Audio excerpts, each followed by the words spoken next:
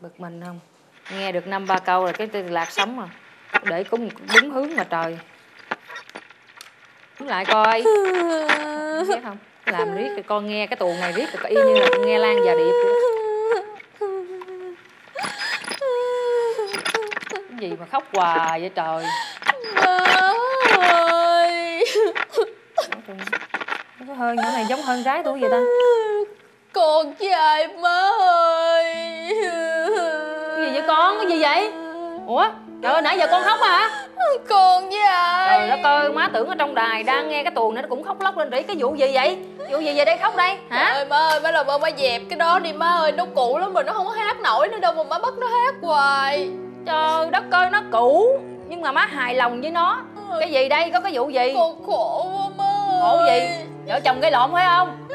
Không có má ơi. Chứ sao? Má bây giờ con nói má nè Má thấy đúng má, má đứng má bình giật cho con nha má.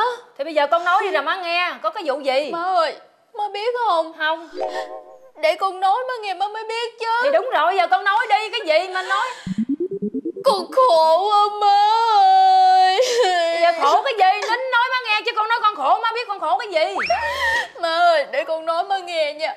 Để con nói từ từ cho má nghe nè Má ơi má biết không? Không không nói sao biết. Thôi tự về qua về bển đi tự vợ chồng tự giải quyết đi.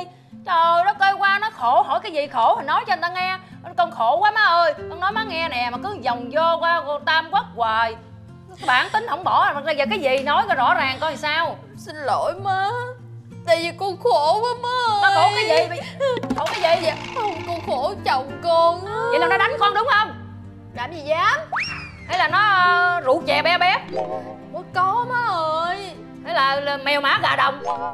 Không có ảnh đàng hoàng lắm Không có bỏ bê công ăn việc làm. Không có ảnh làm việc Ảnh chăm chỉ lắm luôn á. Ủa vậy má thấy bình thường mà. Chứ có gì đâu con khổ con la trời la đất. Không có đâu con khổ lắm. Tại vì bây giờ anh không còn như ngày xưa nữa. Anh không còn là một người đàn ông mà con hằng mơ ước. Hào hoa, phong độ, lãng mạn và chu đáo nữa má là sao? Thì có nghĩa là ngày xưa má biết không? Sáng sớm con ngủ dậy Anh nhắn tin cho con. Trưa trưa á, anh lại công ty rước con đi ăn. Chiều chiều á, anh chở con đi uống cà phê. Hả? Tối tối á, anh rủ con đi xem phim. Má thấy không? Mà bây giờ á, anh không có như vậy nữa. Con bực bội lắm á. Con đâu có muốn cái gì cao quý đâu Con. Chỉ muốn là những cái điều rất là tầm thường thôi. Là có nghĩa là chiều chiều á Anh chở con đi dạo. Tối tối hai vợ chồng đi xem phim và ví dụ như cuối tuần á, Anh rủ con đến một nơi nào đó hẹn hò con, Một cách lãng mạn để hai vợ chồng hâm nóng lại tình yêu.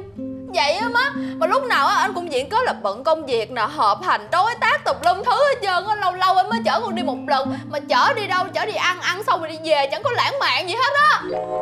Ủa con, hồi xưa khác, giờ khác con.